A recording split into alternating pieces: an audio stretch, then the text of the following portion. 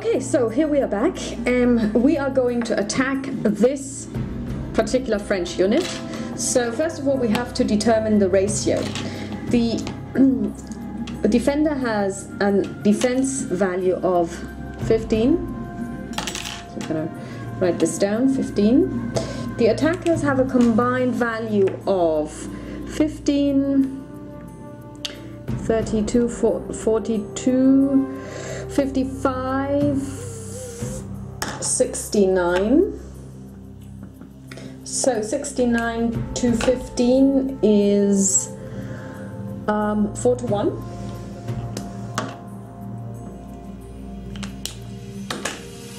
So now I'm just going to show you the quite detailed um, combat results table. As you can see, it is quite detailed. Um, it's actually a whole four, um, A4 page. So what we're now going to be doing is we're going to be rolling two dice, a black and a white die. So we note down the results. White equals 4 and black equals 2. Now what we need to do is we need to compare the proficiency rating. So different units have different proficiency ratings. This proficiency rating is 5 of the defender. I'm going to note this down. And then we choose the one um, of the attackers that has the highest. So here we go. 5 versus 5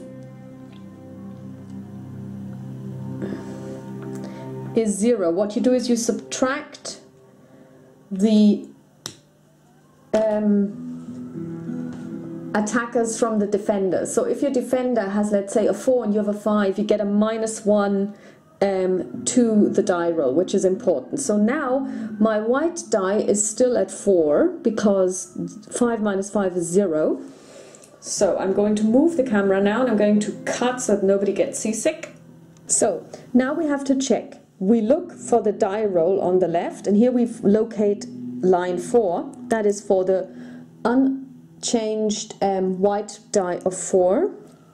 The black die was a 2 so we take this line here, it says 2, and then what we do is we cross-reference it at the top. I mean, this is something that I cannot show because unfortunately um, the camera is too close. Up at the top you would have um, the, comp uh, the ratios of 1 to 4 up to 8 to 1. Okay, so basically we choose the column 4 to 1. I'm just going to move the camera slightly. This is the 4 to 1. So here we are on a die roll, on a white die roll of 4 and a black die roll of 2, we come to this result. You see two values here, before the slash and after the slash. If it is before the slash, then it doesn't make any difference to the attacker, and anything after the slash applies to the defender. So what we see here is a black circle with a 1. This means that this particular um, unit, uh, the French unit, will have to, uh, to retreat one hex. And here you also see the plus 3. And the plus 3 comes into play when we now check the combat effectiveness level. To now um, do a, um, um, an artillery check. So basically what we do is we look at um, this table here we have the number of um, division equivalents attacking, which in our case is one, two, three, four. So it's in this category up here.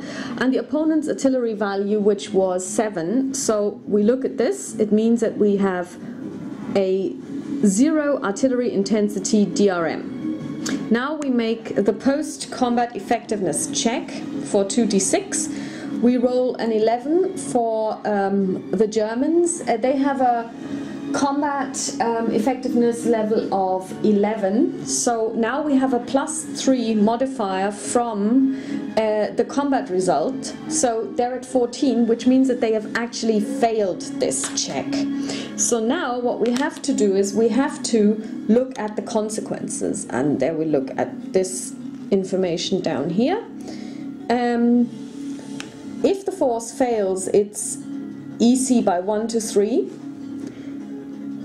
it takes a minus 1 on its combat effectiveness. So it's reduced by this amount.